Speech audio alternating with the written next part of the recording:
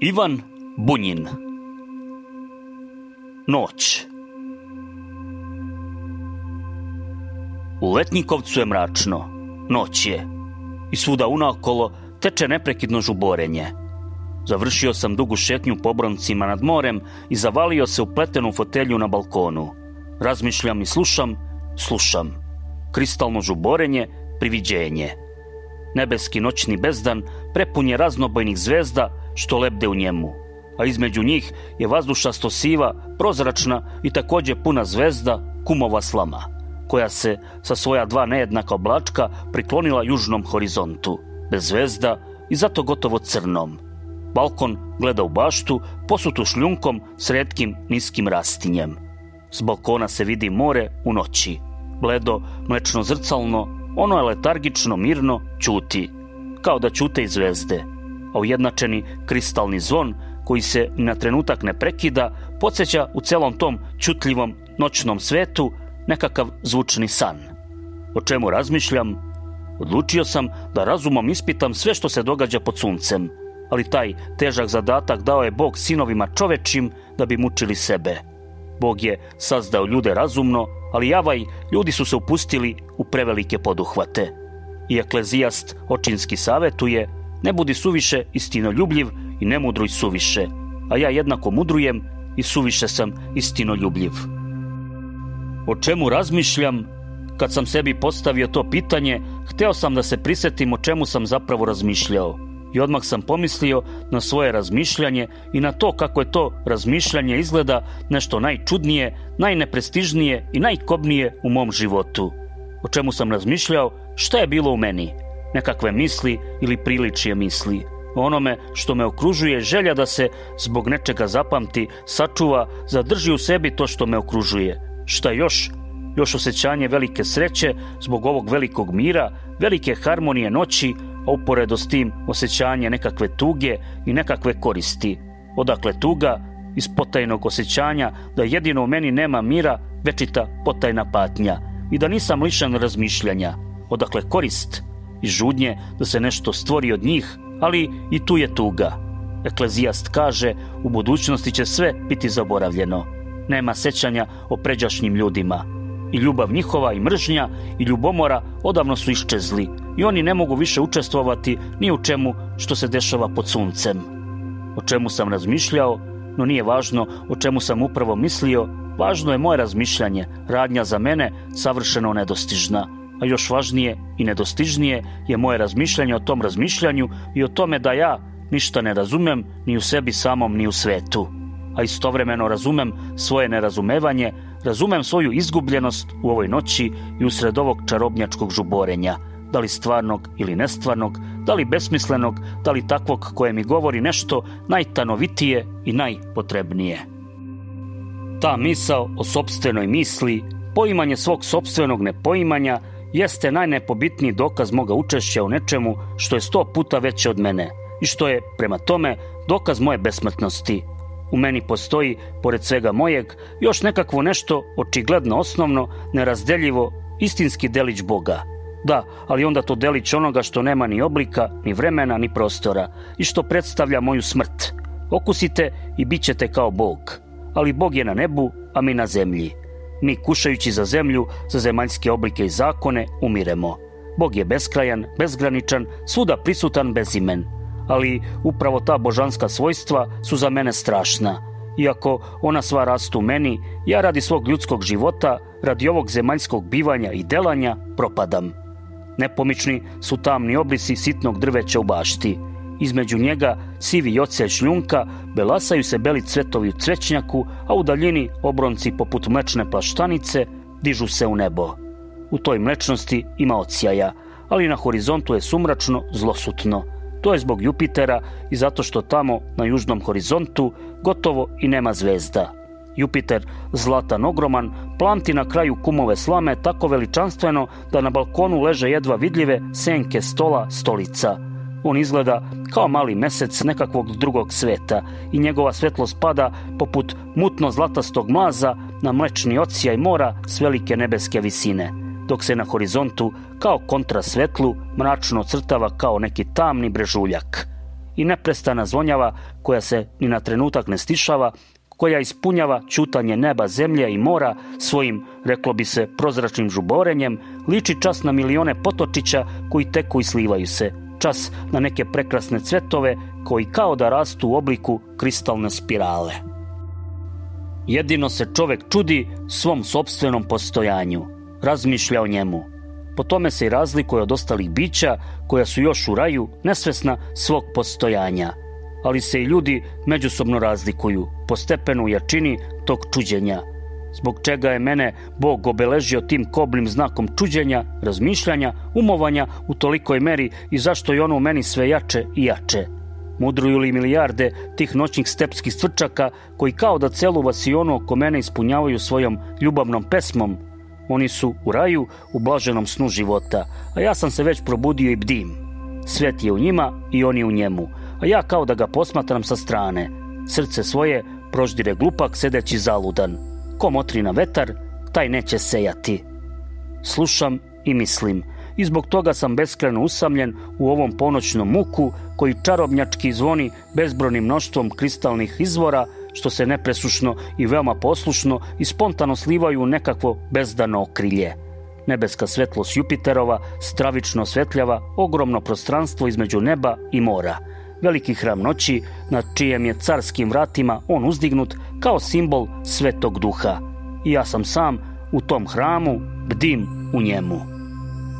Dan je doba delanja, doba sužanjstva, dan u vremenu i prostoru. Dan to je ispunjenje zemaljskog duga, služenje zemaljskom postojanju. I zakon dana nalaže radi i ne prekidaj posao da bi došao do saznanja o sebi, svom mestu i svome cilju. Jer ti si rob zemaljskog postojanja i u njemu ti je data određena misija, zvanje, ime, A šta je noć i priliči li čoveku da se suoči s njom u bdenju, u onom nedokučivom što predstavlja naše umovanje? Bilo je naređeno ne kušati zabranjeno voće i evo oslušni, oslušni njih, te zanesene pevače, oni nisu kušali i ne kušaju. A šta su drugo do slavopojku njime izveli eklezijasti iz cele svoje mudrosti? To su oni rekli, sve je taština na taštinama i nikakve koristi čovek nema od svog rada ali su i dodali s gorkom zavišću. Sladak je san onoga koji radi i ne postoji ništa lepše za čoveka nego uživati u delima svojim i jesti s veseljem hleb svoj i piti s radošću u srcu vino svoje. A šta je noć? To da je rob vremena i prostora za neko vreme slobodan, da je oslobođen svoje zemaljske misije, svog zemaljskog imena, zvanja i da ga čeka ako bdi veliko iskušenje – jalovo umovanje, jalovo stremljanje ka poimanju, to jest dvostruko nepoimanje. Nepoimanje ni sveta, ni samoga sebe u tom svetu, ni svoga početka, ni svoga kraja. Ja ih nemam, ni početka, ni kraja. Znam da mi je toliko i toliko godina, ali meni su kazali to da sam se rodio te i te godine, tog i tog dana i časa. Inače, ja ne bih znao ne samo dan svog rođenja i samim tim ni broj svojih godina, nego ni to da postojim zato što sam se rodio. Rođenje, šta je to rođenje? Moje rođenje ni pošto nije moj početak. Moj početak je u onoj sasvim nedokučivoj za mene tmini u kojoj sam bio začet pre rođenja i u mome ocu, majci, dedovima, pradedovima, jer su oni takođe ja, samo u nešto drugačijem obliku, od kojeg se veoma mnogo, gotovo istovetno, ponovilo u meni. Sećam se da sam odavno milijarde godina ranije bio Jarčić i sam sam doživeo nešto slično, upravo u zemlji onoga što je to izrekao, u indijskom tropskom pojasu. Doživeo sam užas osjećanja da sam već nekada bio tu, u toj raskoj toploti. Samoobmana, autogestija, ali veoma je verovatno da su moji daleki preci živeli baš u indijskom tropskom pojasu. Kako su mogli oni, prenoseći toliko puta na svoje potomke, i prenevši najzad i na mene skoro isti oblik uva, brade, vukova obrva, kako su mogli, a da ne prenesu i tanani na težljivi delić tela svoga vezanog za Indiju. Ima ljudi koji se ludo, to jest protivno razumu, plaše zmija ili pauka. I to je u stvari osjećanje nekog ranijeg postojanja, mutno sećanje na to da li je, na primer, nekada davnom praocu, toga koji se plaši, stalno pretila smrt od kobre, skorpiona, tarantule. Moj davni predak je živeo u Indiji. Zašto onda, kad vidim kokosove palme povijene nad obalom okeana, Kad vidim gole tamno smeđe ljude u toploj tropskoj vodi, ne mogu da se prisetim onoga što sam osjećao nekada, kad sam sam bio svoj goli tamno smeđi predak. Ali ja nemam ni kraja. Pošto ne shvatam i ne osjećam svoje rođenje, ja ne shvatam i ne osjećam ni smrt, o kojoj takođe ne bih imao ni najmanju predstavu, znanje, a možda ni osjećaj da sam se rodio i živeo na nekom potpuno pustom ostrvu, bez jednog živog bića. Ceo život živim u znaku smrti. Ipak, celog života osjećam kao da nikada neću umreti, smrti. Ali svakih sedam godina čovek se ponovo rađa, to jest neprimetno umire, neprimetno se preporađajući.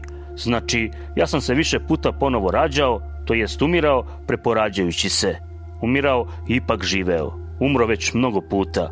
I opet u osnovi ostao isti kao i ranije, a pri tome još sam ispunjen svojom prošlošću. Početak, kraj.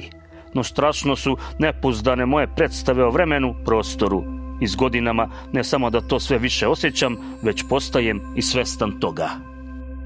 Smatraju me drugačijim od mnogih drugih. Ima da celog života dolazim do mučnog saznanja o labosti i nedovoljnosti svih mojih sposobnosti, ja nisam u poređenju s nekima u istinu sasvim običan čovek. No upravo zbog toga, to je zbog nekakve moje neobičnosti, zbog toga što spadam u neku posebnu kategoriju ljudi, moje predstave i osjećaji, vremena, prostora i samoga sebe naročito su labilni. Kako je to kategorija, kakvi su to ljudi? Ti koje nazivaju pesnicima, umetnicima. Šta oni treba da posjeduju? Sposobnost da naročito snažno osjećaju ne samo svoje, već i tuđe vreme. Prošlost, ne samo svoju zemlju, svoje pleme, već i druge. Tuđe, ne samo samog sebe, već i ostale. To jest, kako se obično kaže, sposobnost preobražavanja i osim toga naročito živo, naročito slikovito, čulno pamćenje – a da bi čovek pripadao takvoj vrsti ljudi, treba da bude individua koja je u lancu svojih predaka prešla veoma dug put postojanja i da je najednom u sebi ova plotila potpun lik svog divljeg dalekog pretka sa svom svežinom njegovih osjećaja, sa svom živopišću njegovog mišljenja i s njegovom ogromnom podsvesnošću, a u isto vreme individua beskrajno obogaćena na svom dugom putu i sa već ogromnom svesnošću. Da li je takav čovek velik pačenik ili veliki srećnik, i jedno i drugo. Prokledstvo i sreću takvog čoveka čine neobično snažno. Ja, žudnja za višom potvrdom toga, ja i uz to, zbog velikog iskustva za vreme bavljenja u ogromnom lancu bitisanja, jače osjećanje uzaludnosti, te žudnje, izoštreno osjećanje sve života. I evo bude Solomona Tolstoja. Gorile u mladosti i u zrelom dobu ulivaju strah zbog svoje telesne snage – neizmeno su osjećani u svom doživljavanju sveta, bespoštedni u svakojakom zadovoljavanju svoje požude i krajnje neposredni, dok u starosti postaju neodlučni, zamišljeni, tužni, bolećivi. Porazna sličnost Budama, Solomonima, Tolstojima. I uopšte, u tom dostojanstvenom plemenu svetaca i genija mogu se nabrojati mnogi koji već i po izgledu nameću poređene s gorilama – Svi znaju zasvođenost Tolstojevih obrva, džinovski rast Budin i izbočinu na njegovoj lobanji.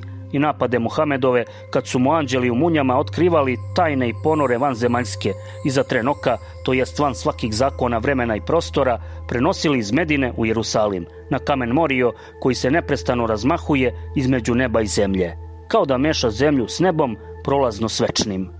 Svi Solomoni i Bude u početku s velikom pohlepnošću prihvataju svet, a zatim veoma vatreno proklinju njegove sablazni. Svi su oni u početku veliki grešnici, onda veliki neprijatelji greha, prvo veliki grabljivci, a posle veliki rasipnici. Svi su nezasiti robovi Maje. Evo nje, te zvetskave čarobnice Maje, oslušni, oslušnije. I svi se odlikuju sve jačim ukoliko godine prolaze, osjećanjem sve života i neminovnog nestajanja u njemu slabo strujanje vazduha, miris cveća iz cvećnjaka i morska svežina neočekivano dopiru do balkona. I trenutak kasnije čuje se šum, tihi uzdah polusnenog talasa koji je negde dole blago zapljusnu obalu. Srećan dremljiv, bez misli, pokoran, umirući, nesvesan toga. Dovaljao se, pljusno, ozario pesak, bledo plavim sjajem, sjajem bezbrojnih života, isto se tako polako povukao nazad, vraćajući se u kolevku i grob svoj i nebrojeni životi pevaju unaokolo, čini se još pomamnije. Jupiter, koji se poput zlatnog potoka sliva u veliko vodeno ogledalo. kao da blista na nebesima još stravičnije i veličanstvenije. Zar ja već nisam bez početka, bez kraja, svuda prisutan? Eto decenije me dele od mog detinstva, dečaštva. Beskrajna davnina. No dovoljno je samo malo da se zamislim i vreme počinje da se topi. Više puta sam osetio nešto čudesno. Ne jednom se desilo, vratio sam se evo na ona polja gde sam bivao nekad kao dete, kao mladić. I odjednom, obazrevši se oko sebe, osjećam kao da duge mnoge godine koje sam proživeo od tog vremena nisu ni postojale. To nikako, nikako nije sećanje. Ne, ja sam prosto onaj nekadašnji, savršeno nekadašnji. Ponovo je isti odnos između mene i tih polja, tog svežeg vazduha, tog ruskog neba. Ponovo osjećam ceo svet isto onako kao što sam ga na ovom seoskom putu osjećao u danima mog detinstva, dečaštva. U takvim trenucima često sam mislio, svaki časak onoga što sam nekada proživljavao ovde ostavljao je tajanstveno utiskivao svoj trag kao na nekakvim bezbrojnim, beskonačno malim, najskrivenijim fotografskim pločama moga ja – i evo neke od njih su odjedanput oživele i spoljile se. Sekund i one će opet utonuti u tamu moga bića, ali ne mari, ja znam da one postoje. Ništa ne ščezava, samo menja oblik. Ali možda ima nešto što ne podleže čak ni preobražaju, ne podvrgava mu se ne samo u toku moga života, već ni u toku milenijuma. Mnošto takvih otisaka ostavili su meni moji preci, daleki pravci. Bogatstvo, sposobnosti, genijalnost, talenat – nisu drugo do bogatstvo tih otisaka i naslednih istečenih, do ova ili ona njihova osjećajnost i broj njihovih ispoljavanja u zraku onog sunca što odnekud pada na njih s vremena na vreme. Nedavno, kada sam se slučajno probudio svitanje, iznenada me porazila misa o sobstvenim godinama. Nekada mi se činilo da je čovek koji je proživao 40-50 godina neko izuzetno, gotovo stravično biće – I evo, takvo biće postao sam najzad i ja. Šta sam, pak ja, rekog sam sebi, u šta sam se to pretvorio. I učinivši neznatan napor volje, pogledavši na sebe kao na nekog drugog, kako je divno što to možemo. Osetio sam, razume se, sasvim jasno, da sam i sada potpuno isti, kao kada mi je bilo 10-20 godina. Upalio sam lampu, pogledao u ogledalo. Da, uvelost i još trina crta, srebrnkasta patina na slepočnicama, donekle izbledala boja očiju. Ali šta s tim? I s neobičnom lakoćom sam ustao, izašao u druge odaje, koje su se još jedva svetlale, bile još noćno mirne, ali koje su već primale novi dan što se polako rađao i slabo i tajanstveno razdvojio u visini mojih grudi njihovu polutamu. Mir, onaj naročiti, pred svitanje još je vladao i u celom tom ogromnom čovečem gnezdu koje se naziva grad. U tišini i nekako drugačije nego danju stajale su sa bezbroj prozora kuće sa svojim mnogobrojnim žiteljima, toliko čini mi se različitim i tako jednako predanim snu, besvesnosti, bespomoćnosti. Podamnom su ležale čutljive i još prazne, još čiste ulice, ali su već zeleno svetlale plinske lampe u njihovom prozračnom sumraku i odjedanput sam ponovo doživeo ono neizrecivo osjećanje koje doživljavam celog života kad mi se desi da se probudim u ranu zoru. Doživeo sam osjećanje velike sreće, dečije naivne miline života, što dušu raznežava, osjećanje početka nečeg sasvim novog, dobrog, divnog, osjećanje blizine bratstva, jedinstva sa svima koji zajedno sa mnom žive na zemlji. Kako uvek u takvim trenucima razumem suze apostola Petra, koji je baš u svitanje, tako sveže, mlado i nežno, osetio svu snagu svoje ljubavi prema Isusu i sve zlo koje učini on, Petar, u oči tog dana noću iz straha od rimskih vojnika. I ponovo sam proživeo u potpunosti kao svoje vlastito ono daleko evangelijsko jutro u Eleonskom maslinjaku. Jutro Petrovog odricanja. Vreme iščezlo. Celim svojim bićem sam osetio, oh, kako je to kratko vreme, 2000 godina. Ja sam eto proživeo pola veka, treba samo umnožiti moj život 40 puta i bit će vreme Hrista, apostola, drevne judeje, drevnog čovečanstva. Isto ono sunce koje je nekada posle svoje besane noći ugledao bled i uplakani Petar, samo što se nije ponovo diglo nadamnom. I gotovo ista ona osjećanja koje su nekada ispunjavala Petra u Getsemaniji ispunjavaju sada mene, izazivajući u mojim očima one iste suze kojima je tako slatko i bolno zaplakao Petar pored vatre. Pa gde je moje vreme, a gde njegovo? Gde sam ja, a gde je Petar?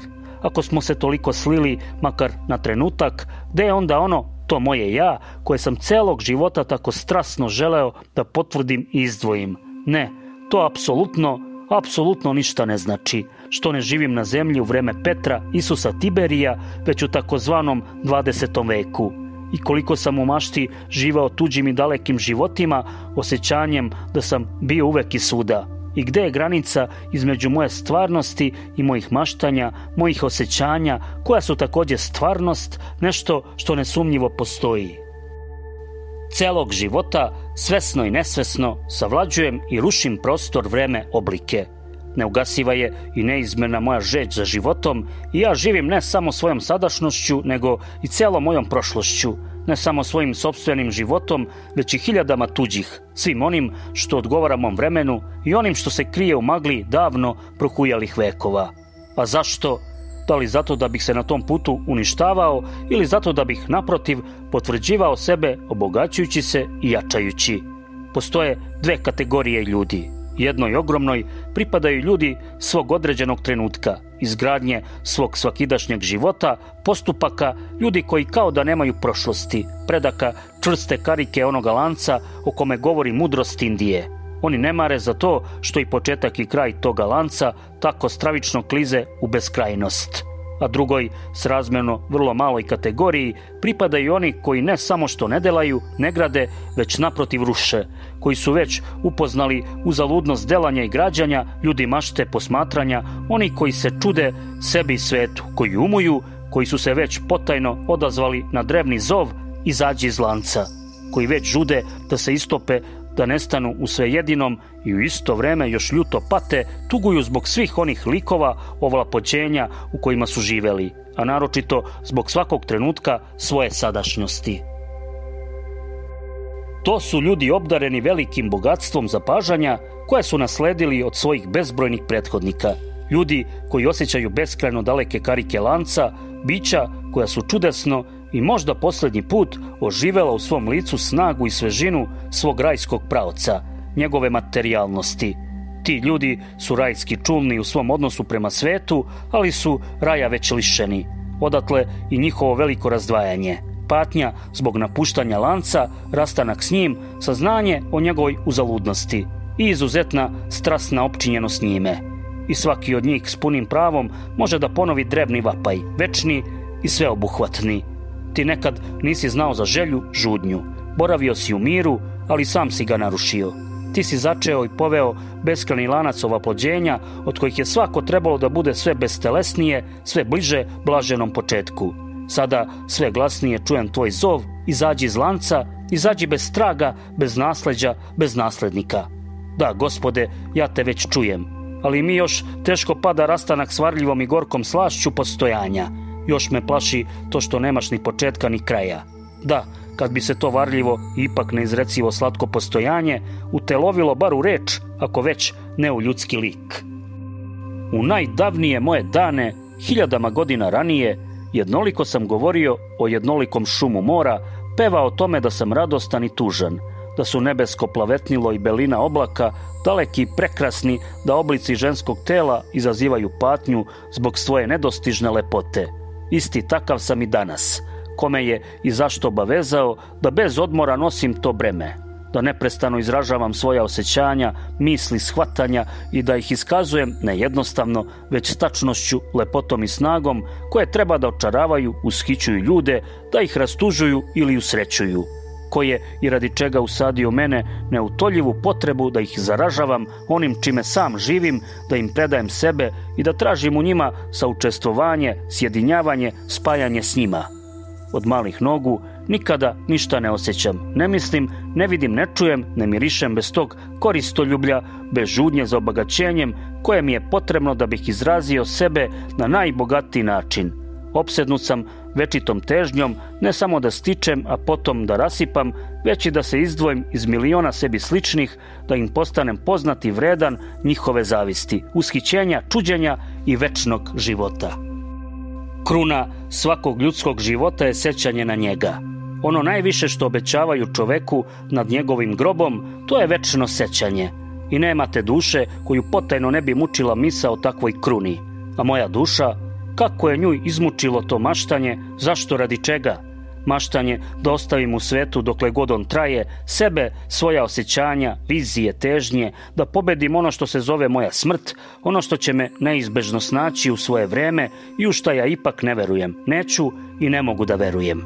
Neprestano vičem, bez reči, svim svojim bićem, stani sunce, i utoliko strasnije vičem što ja u stvari nisam onaj koji gradi, već koji razara sebe i koji ne može biti neko drugi kad mi je već dato da ih pobeđujem, vreme, prostor, oblike. Da osjećam sebe bez početka i kraja, to jest ono sve jedino koje me opet vuče u sebe, kao pauk svoju paučinu. A zrikavci zriču li zriču. I njima je dato to sve jedino, ali pesma je njihova umilna, jedino je za mene tužna. Pesma puna rasije spontanosti, blaženog samozaborava. Jupiter je dostigao svoju vrhunsku visinu i noć je dostigla vrhunski muk, vrhunsku nepomičnost pred licem njegovim, vrhunski trenutak svoje lepote i veličine. Noć noći znanje predaje. Koje? I možda u ovom tajanstvenom, uzvišenom času svome. Još veličanstveniji i strašniji je postao bezgranični bezdani hram neba punog zvezda. Već se mnogo krupnih predjutarnjih zvezda pojavilo na njemu – i već sasvim okomito pada tamo zlatasti snop svetlosti u mlečno gledalo letargijom obuzetog mora. I kao da se još nepomičnije crni sitno drveće, koje je, čini se, postalo još sićušnije u tom oskudnom južnom vrtu, posutom beličastim šljunkom. A neprestana ni na sekund neprekidna zvonjava koja svojim, reklo bi se, providnim žuborenjem ispunjava čutanje neba, zemlje i mora, postala je još sličnija nekakvim bajnim cvetovima koji rastu u obliku kristalnih spirala. Šta će na kraju postići ovaj muk koji zvoni? No, evo opet on, taj uzdah, uzdah života, šum talasa koji je zapljusnuo obalu i razlio se, a za njim opet lagano strujanje vazduha, svežine mora i mirisa cveća. I ja, kao da se budim, Osvrćem se oko sebe i ustajem, strčavam s balkona, koračam u škripu šljunka po vrtu, zatim trčim dole niz obronak. Hodam po pesku, sedam pored same vode i s ushićenjem zagnjurujem u nju ruke koje se trenutno rasplamsavaju od milijarda svetlucavih kapljica nebrojanih života. Ne, još nije došao moj čas. Još postoji nešto što je jače od svih mojih umovanja. Još, kao ženu, priželjkujem ovo vodeno noćno okrilje. Bože, ne zovi me. Primorski Alpi, 17. septembar 1925.